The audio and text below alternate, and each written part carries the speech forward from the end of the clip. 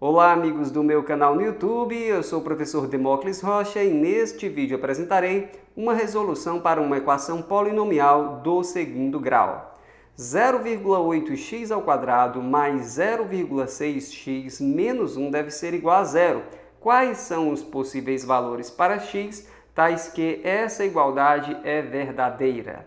Se você apoia esta iniciativa, deixe o seu like se quiser ficar sabendo sempre que a gente lançar um novo vídeo por aqui, inscreva-se no canal e acione o sininho das notificações. Vamos lá!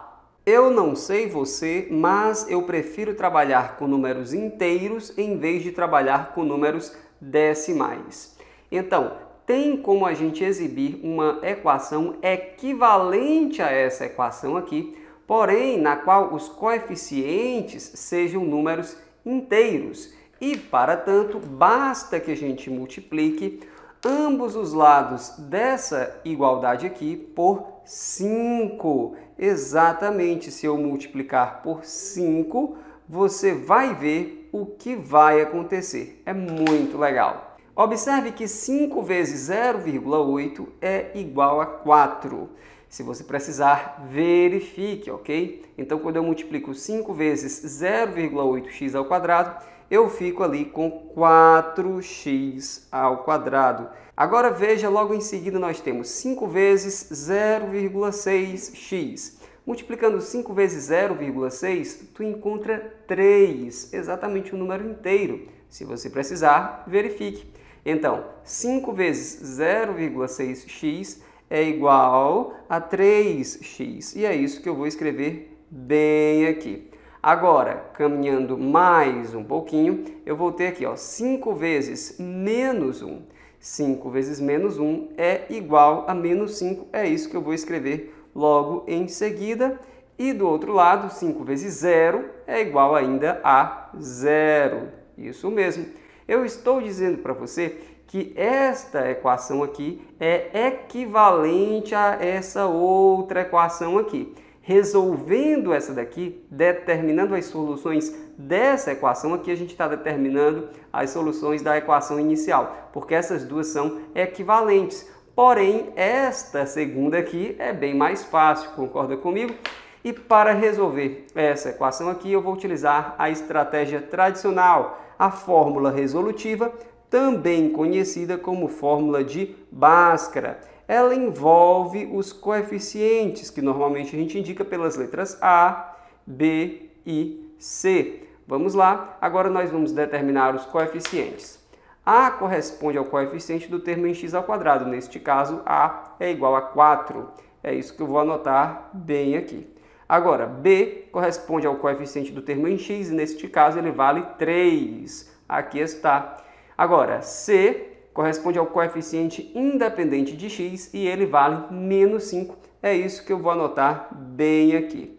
O nosso próximo passo vai ser determinar o valor do discriminante, o famoso delta. A fórmula do delta é muito simples, é assim, b ao quadrado menos 4 vezes a vezes c. Sempre assim. Professor, e esse menos 4? Ele é da fórmula, ele sempre está presente.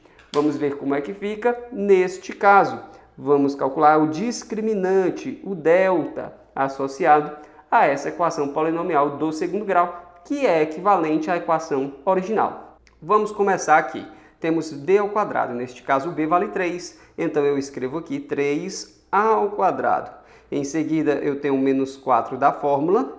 Ele vai multiplicar o valor do A, que neste caso é 4. E em seguida, eu ainda vou multiplicar pelo valor do C, que neste caso é menos 5. Como ele é negativo, eu coloco entre parênteses desse jeitinho aqui. Bom, vamos lá. Calculando o valor dessa expressão numérica bem aqui, a gente determina o valor do delta. Começamos por aqui. 3 elevado a 2, assim, 3 ao quadrado é 3 vezes 3, que, portanto, é igual a 9. Em seguida, eu tenho menos 4 vezes 4, que é igual a menos 16. Porém, eu ainda tenho que multiplicar aqui ó, por menos 5, não é verdade? Então, vamos em frente, já estamos quase concluindo essa parte. Você pode até querer fazer 9 menos 16, mas não pode. A prioridade é da multiplicação. Então, esse 9 aí eu vou apenas repetir. Eu vou olhar para a multiplicação. Na multiplicação de dois números com sinais iguais, o resultado é positivo. E 5 vezes 16 é 80. Se você precisar, verifique. Vamos lá, falta só mais um passo para que a gente conclua essa parte.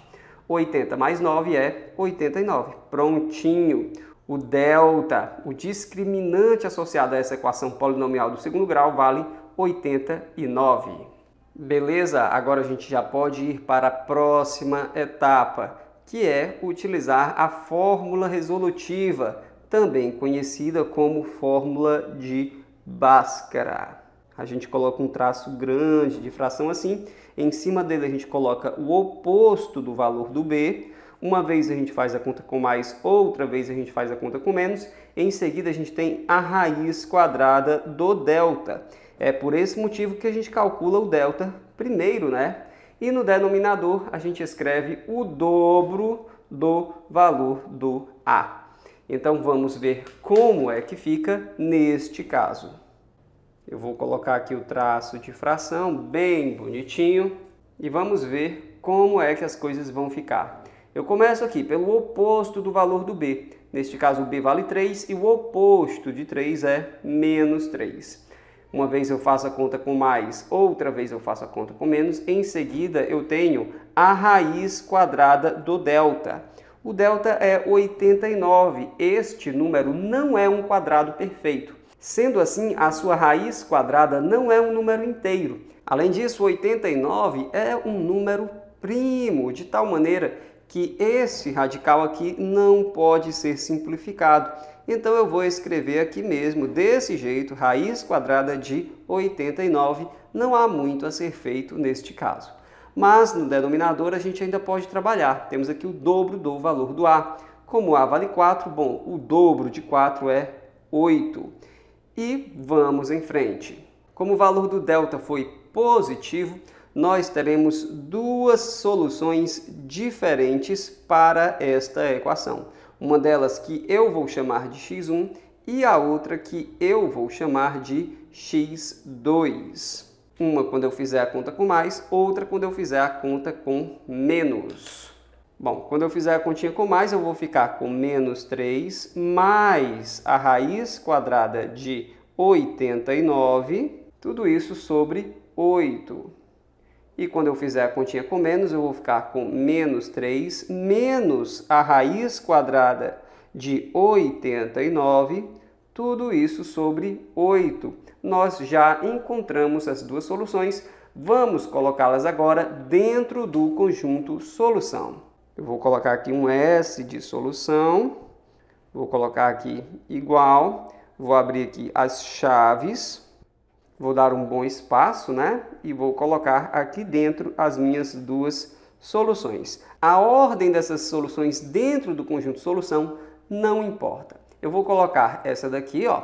Em seguida eu vou colocar essa outra aqui. Muito bem, este é o conjunto solução. Esses dois números aqui, os dois números que são dados por essas duas expressões, são as soluções dessa equação aqui original. Isto é, se você substituir x aqui e aqui por essa expressão, você vai ter uma expressão numérica do lado esquerdo da igualdade, cujo valor de fato é zero. Se você substituir o x aqui e aqui por essa expressão, você vai ter uma expressão numérica cujo valor de fato também é zero. Agora, para qualquer outro número real que não seja equivalente a este ou a esse aqui, a expressão numérica correspondente, quando tu substitui x por ele, não é igual a zero. Então, é por esse motivo que esses números correspondem às soluções dessa equação bem aqui. Professor, e se eu quiser determinar um valor aproximado para cada expressão dessa aí. O que eu faço? Você pode determinar uma aproximação para a raiz quadrada de 89.